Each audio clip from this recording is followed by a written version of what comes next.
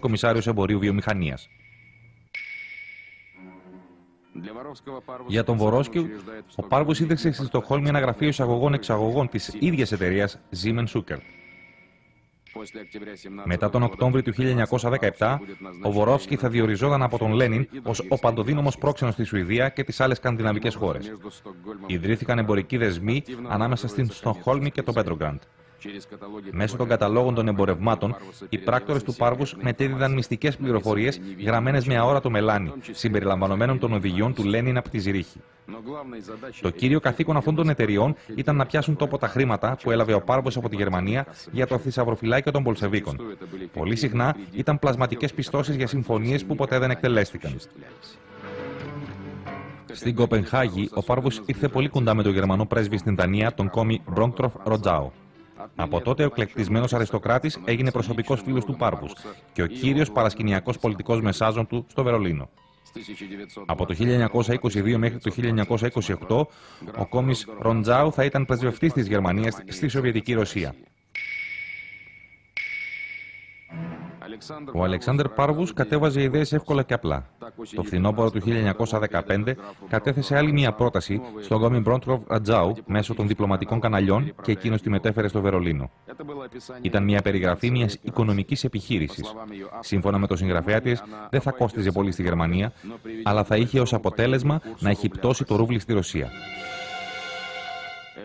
Με αυτήν την οικονομική πρόκληση, ο Πάρβος ήθελε να επαναλάβει την επιτυχία του 1905. Η πρότασή του είχε θετική αντιμετώπιση. Κάλεσαν αμέσως τον Πάρβο στο Βερολίνο για διαβουλεύσεις.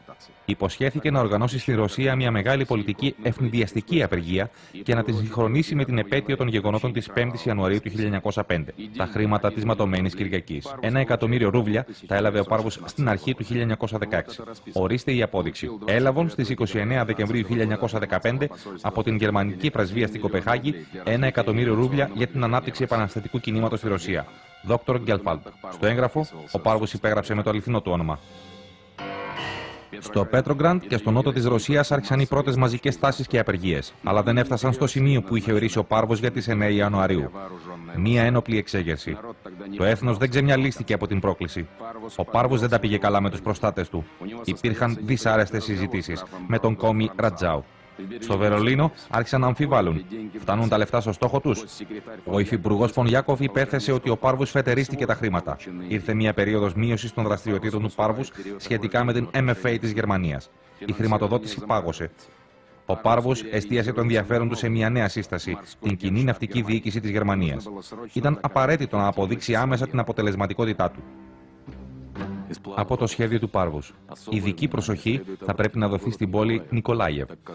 Εκεί, υπό έντονες συνθήκες, ετοιμάζονται να εξαπολύσουν δύο πολεμικά ναυτικά. Χτισμένα στα ναυπηγεία του Νικολάιευ, τα θωρηκτά που μπήκαν στο στόλο το 1915, αυτοκράτηρα Εκατερίνη και αυτοκράτηρα Μαρία, ήταν ρωσική απάντηση στην κυριαρχία της Μαύρης Θάλασσας από δύο γερμανικά τεφρακισμένα θωρηκτά.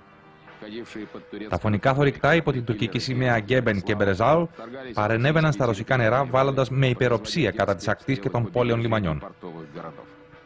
Το θορυκτό αυτοκράτηρα Μαρία, με το βαρύ πυροβολικό του και την μεγάλη του ταχύτητα, ξεπερνούσε τα πλοία Γκέμπεν και Μπρεσλάου.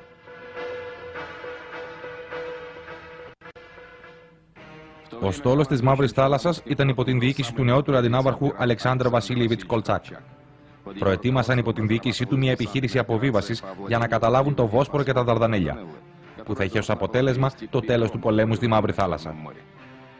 Και εδώ πραγματοποιήθηκε η υπόδειξη του Πάρβους. Στις 7 Οκτωβρίου του 1916 το θορυκτό αυτοκράτηρα Μαρία ανατινάχθηκε. Άρχισε μια τρομερή φωτιά που στέρισε τη ζωή σε πάνω από 200 ναυτικούς. Η επιχείρηση στο Κολτσάκ δεν έγινε. Το μεγαλόπνο σχέδιό του ήταν να καταστρέψει την αίσθηση ανωτερότητα της άμυνας. Χιλιάδες δημοσιογράφοι εφημερίδων που είχαν πληρωθεί από αυτόν, βοηθοί της κρατικής Δούμα, τριαμβολογούσαν για την ήττα του ίδιου τους του στρατού και σε επιτυχημένες επιθέσεις φώναζαν ότι ο πόλεμος ήταν ντροπή και άσκοπος. Ήταν ο συγγραφέας των πρώτων πολιτικών τεχνολογιών με σκοπό τη μετατροπή του πατριωτικού πολέμου σε εμφύλιο πόλεμο. Το Υπουργείο Εξωτερικών της Γερμανίας ξαναέστρεψε το ενδιαφέρον τους στον Πάρβου. Μετά την επανάσταση του Φεβρουαρίου στην Ρωσία, ήταν απαραίτητο να βιαστούν. Η μεταβατική κυβέρνηση εξακολούθησε τον πόλεμο εναντίον της Γερμανίας, επιβεβαιώνοντας τις συμμαχικές υποχρεώσεις που είχε αναλάβει η Ρωσία απέναντι στη Βρετανία και τη Γαλλία. Την άνοιξη του 1917, εναντίον της Γερμανίας προσχώρησαν οι Ηνωμένες Πολιτείες της Αμερικής.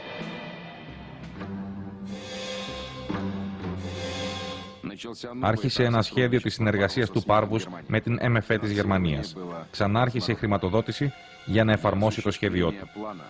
Ο Πάρβους χρειαζόταν και πάλι τον Λένιν. Αλλά όχι στην Ελβετία, στην Ρωσία. Οι Γερμανοί υψηλόβαθμοι αξιωματούχοι ανέπτυξαν ένα σχέδιο μαζί με τον Πάρβους μεταφοράς των επαναστατών στη Ρωσία. Ο μόνος δυνατός τρόπος, σιδηροδρομικός από την Ελβετία στη Ρωσία, διασχίζοντας τη Γερμανία. Σύμφωνα με το στρατιωτικό νόμο, οι πολίτες της εχθρικής χώρας πρέπει να συλλαμβάνονται αμέσως όταν περνάνε τα σύνορα. Αλλά με προσωπικές οδηγίες του αυτοκράτορα σχετικά με τον Λένιν και την ομάδα του, έγινε εξαίρεση για αυτούς τους Ρώσους υπήκοους. Ο Λένιν είπε ότι τα εισιτήρια δεν μπορούσαν να αγοραστούν με γερμανικά χρήματα και γι' αυτό τα αγόρασε ο ίδιος ο Πάρβους. Η αναχώρηση των μελλοντικών επαναστατών από την Ελβετία ήταν αρκετά ταραχώδης. Στο σιδηροδρομικό σταθμό, μια ομάδα Ρώσων πατριωτών έλεγαν ότι οι Γερμανοί πλήρωσαν πολλά λεφτά στον Λένιν. Κατά την ανεχώρηση άρχισαν να τραγουδάνε το International και κάποιοι του φώναζαν Γερμανοί κατάσκοποι. Ο ίδιος ο αυτοκράτορας της Γερμανίας πλήρωσε για το ταξίδι σας. Ο Λένιν κρατούσε στα χέρια του μια ομπρέλα που του φάνηκε πολύ χρήσιμη. Καθώς πήγαιναν προς το τρένο μέσα στο σιδηροδρομικό σταθμό, άρχισε ένας καυγάς. Το δίθεν σφραγισμένο βαγόνι ήταν στο κανονικό τρένο. Ενδιαφέρον παρουσιάζει ότι τα υπόλοιπα γερμανικά τρένα παραχώρησαν προτεραιότητα στο τρένο του Λένιν. Τόσο σημαντικό για τη Γερμανία ήταν το έργο του. Το καθήκον της συνοδείας του Λένιν και των άλλων επιβατών του ειδικού βαγονιού, η γερμανική πρεσβεία της Ελβετίας το ανέθεσε σε έναν δοκιμασμένο πράκτορα, έναν σοσιαλιστή ονόματι Φριτ Πλάτεν. Ο Λένιν και η Κρούπσκαγια είχαν ξεχωριστά κουπέ.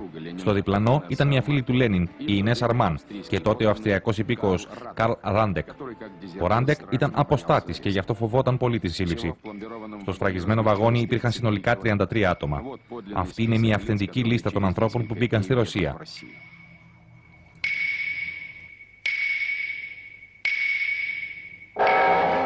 Στην Γερμανία υπήρχε λοιμός, αλλά οι επιβάτες του σφραγισμένου βαγονιού δεν είχαν έλλειψη τροφίμων. Τα γεύματα μαγειρεύονταν από ειδικά αποσπασμένο μάγειρα. Το μόνο άτομο από όλους τους ανθρώπους από την Ελβετία που του επιτρεπόταν να βγει από το βαγόνι για να αγοράσει εφημερίδες ήταν ο Φριτ Πλάτεν. Αυτό του έδινε επίσης την ευκαιρία να αγοράσει μπύρα, ένα ποτό που άρεσε πολύ στον Λένιν και τον Ζινόβιερ από τις αναφορές της Ρώσικης Υπηρεσίας Πληροφοριών. Έχει επιβεβαιωθεί ότι προς το παρόν σχεδόν σε όλες τις πόλεις της Γερμανίας και της Αυστρο-Ουγγαρίας υπάρχει έλλειψη φαγητού και γενική δυσαρέσκεια. Η γερμανική κυβέρνηση, θέλοντας να βρει διέξοδο από την δύσκολη κατάσταση στην οποία βρισκόταν η Γερμανία με κάθε μέσο, ανυπομονούσε να συνάψει ειρήνη και για να εξυπηρετήσει τον επιδιωκόμενο σκοπό, έστειλε τους σοσιαλδημοκράτες από τα οδέτερα κράτη στη Ρωσία πληρώνοντας καλά λεφτά. Ακόμη δεν ήταν ξεκάθαρο γιατί στο Βερολίνο κράτησαν το τρένο για 24 ώρες οι συντονιστές του ταξιδιού, μετακινώντας το τρένο στην διαδρομή επίγουσας ανάγκης. Υπάρχει μια εκδοχή ότι στο σκοτάδι πλησίασαν το τρένο υψηλόβαθμοι αξιωματικοί.